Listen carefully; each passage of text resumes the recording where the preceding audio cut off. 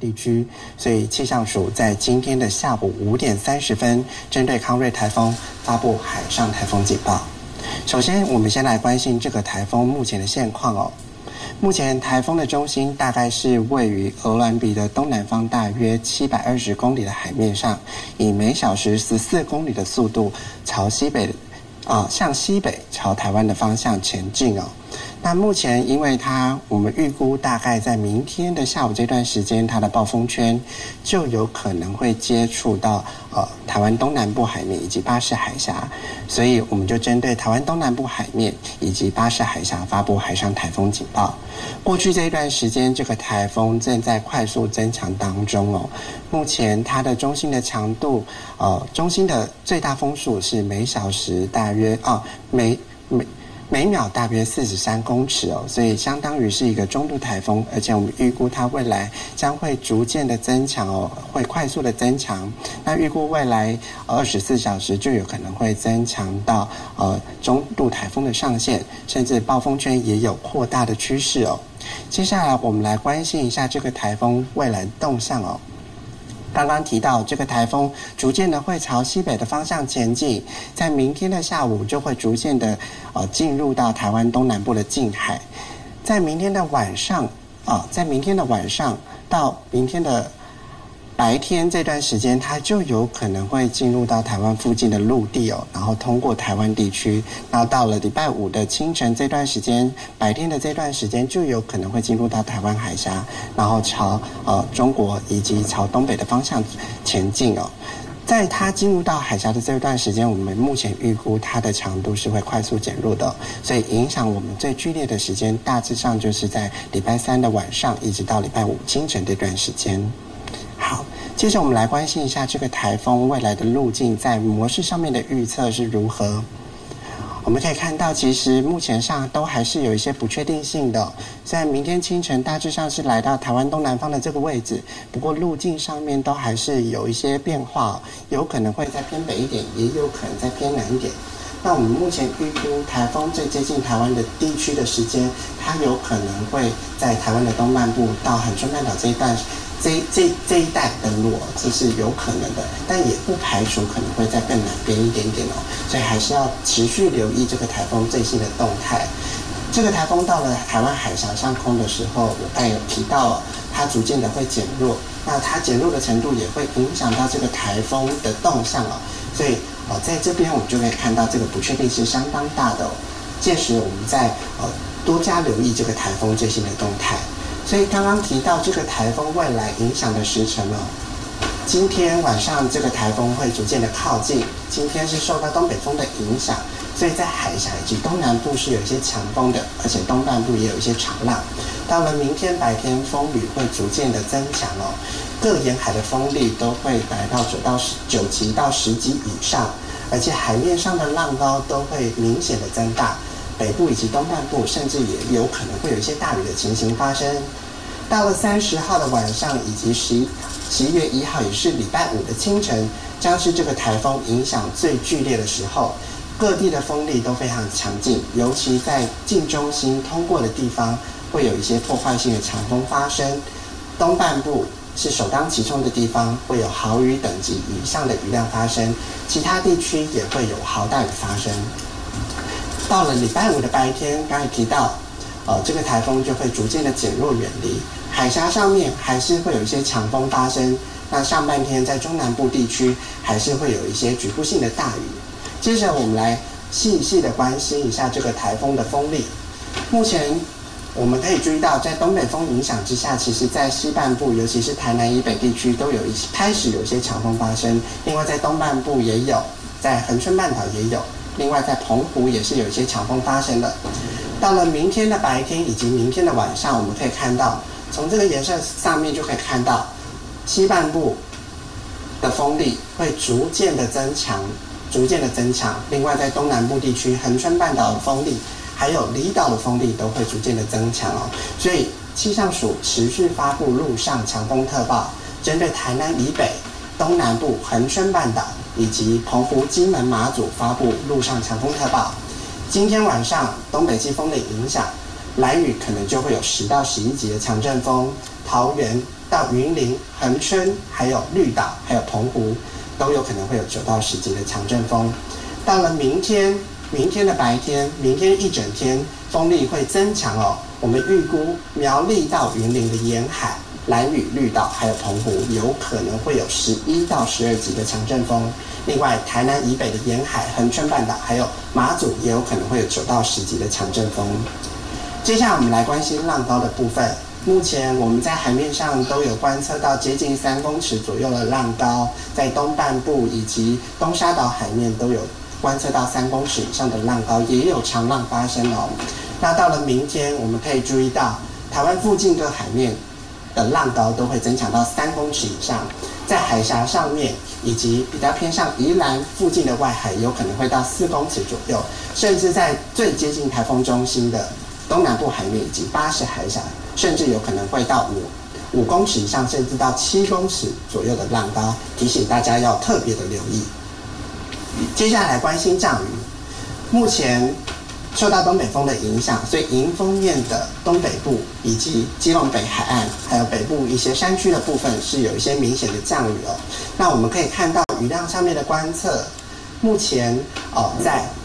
台北市、基隆市、新北市、宜兰县以及花莲县，普遍都有降雨发生，尤其是刚才提到的在北部这一块哦，都有大概。哦，今天都有累积超过五十毫米以上雨量，甚至在台北市的山区有来到一百一十九毫米哦。提醒大家，目前气象所还是持续发布大雨特报的。接下来关心未来的降雨，今天晚上这个降雨东北风会持持续，到了明天，随着台风逐渐靠近，受到这个台风外围环流的影响，东半部地区的雨会逐渐的加大。甚至有可能来到十二小时超过一百五十毫米到两百毫米左右的雨量哦，所以是有可能会有豪大雨发生的。另外，在基隆北海岸以及北部的山区也有可能会有豪大雨发生。接着为各位总结一下，这个台风逐渐的在靠近我们当中，明天是它逐渐靠近的过程，尤其是到明天晚上到礼拜五的清晨，是它影响我们最剧烈的时候。刚刚在提到。豪雨的部分，在影响最剧烈的时候，东半部甚至有可能会有豪雨等级以上的呃降雨发生，所以大家可能要先做好一些准备，呃，疏通沟渠，或是呃，如果你有计划要前往山区的话，可能要改变一下您的计划了。在强风的部分。呃，我们刚才提到，可能都会有十、十一级、十二级的强风，在明天就有可能会发生，所以呃，在户外活动可能要稍微留意一下。另外，家中如果有一些没有绑绑好的东西，可能要稍微牢固一下。那另外，在海边，我刚才提到，就是浪高的部分都有可能会逐渐的增强哦，容易会有长浪跟大浪发生。呃，请到海边活动，呃，要特别的小心，甚至不要到海边活动了。那刚才最后有提到，就是呃，这个台风目前啊还是有些不确定性的，所以呃，请随时留意气象署所发布的最新的台风讯息。以上是这一节的台风说明。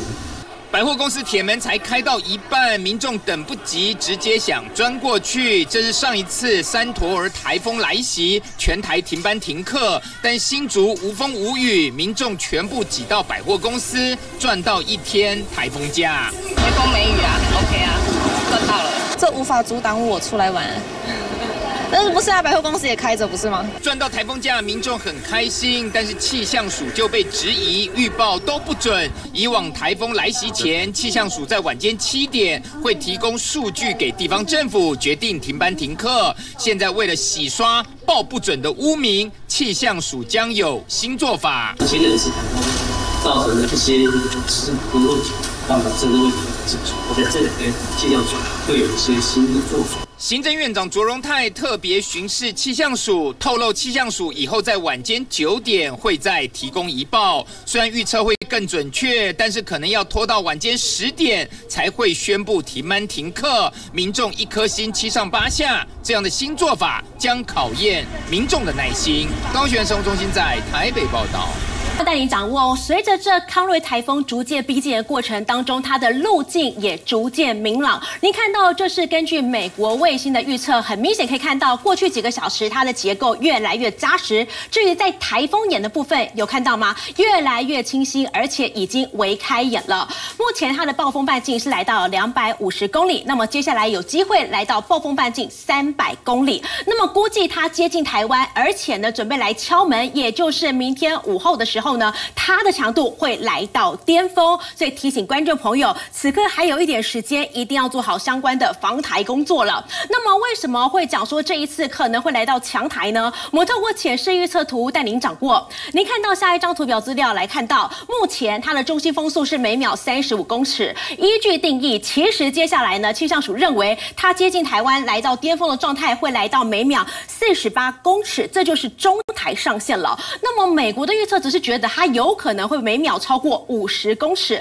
那么就会是一个强台了。那目前看起来它的路径还有一定的不确定性，而且呢，你看到后方其实还有个高压，就会影响到康瑞台风未来它的登陆点。刚刚嘉文也提到了，如果现在这条路径不变的话，目前气象署是认为它会从台东接近恒春半岛这边来做登陆，但不排除高压比较强势的话，那么呢，有可能路径还会往南修。花东登陆的话，花东首当其冲。但如如果是从巴士海峡这边掠过的话，那么南部地区要警示的这风雨就会更加严重。一周天气的降雨带您掌握。假设路径不变的话，康瑞台风从明天开始外围环流已经节节逼逼近了，尤其是迎风面的桃竹苗还有基隆北海岸宜兰地区要留意会有局部豪雨发生。至于周五到周呃是整天的时间，都会是它风雨最明显的时刻。有看到气象署最新一报来看，从西半部一直在东半部都已经画上紫色、白色的范围，代表着雨真的是非常大、非常狂。但是因为受到中央山脉的消弱影响，所以很快在周五白天，这康瑞台风会迅速减弱远离。不过千万不能掉以轻心的是，周四周五这两天会是它影响最明显的时刻，所以一定要做好相关的防台工作了。每一次有台风来，大家都想问台风假，但是台风假的本意是要大家做好防灾工作啊。你看到这是最新的卫星，其实它的环流相当的广，而且呢，您看到它外围环流这边其实已经有一些闪电跟强降雨的讯号了。等到它直接甩进来的时候，那么华东地区迎风面的基隆北海岸，还有呢宜兰地区风雨就会渐渐感受到更加明显。这种破坏性的暴风，大家要留意了。那么刚刚嘉文提到周四周五有没有机会放这台风假？其实周四的时候，因为路径已经来到了台湾的上空。中央山脉会破坏它的结构，所以说周五逐渐远离了，周五还放得到吗？考验着地方首长的智慧了。影响时序来看到更加清楚。你看到此刻开始，其实呢，它的外围环流开始在明天就会呢碰触到我们的海景线之外，礼拜四的傍晚中心就会开始登陆了。所以说今天最快下午五点半左右的时候就有机会发布海警，明天清晨就会发布陆警，笼罩最多的时间落在周四晚上到周五。清晨，那么要留意这几天的台风状况了。最后来看到是风浪市警，明天感受上沿海就非常危险了。随着台风逐渐逼近，波浪预报的部分可能会刮起五到六公尺长浪的浪高。另外，风力在明天也非常惊人哦，沿海九到十级，还有呢，花东地区迎来的是十二到十三，甚至离岛地区区可能感受到的这风跟雨会更加明显。所以提醒观众朋友，此刻台风还没来，还有一点。空档时间相关的防台工作务必要做好准备。您看到最新的卫星显示，它的结构在过去几个小时，这康瑞台风的结构越来越扎实之外呢，今天凌晨两点，它也已经开始转起来，变成一个中度台风了。值得关注的是两件事，第一个是它的强度，目前是属于中台，那么未来不排除根据美国还有日本的观测的话，那么有机会来到强台，而且当时还会非常接近台湾。第二个就是。其实它算是一个蛮大的台风，目前它的半径已经来到了两百五十公里了，所以接下来它影响台湾最明显的时刻，就随着它逐渐靠近台湾的过程，预估是在礼拜四的下半天，一直到礼拜五的一整天，这段时间就是康瑞台风影响台湾最明显的时刻。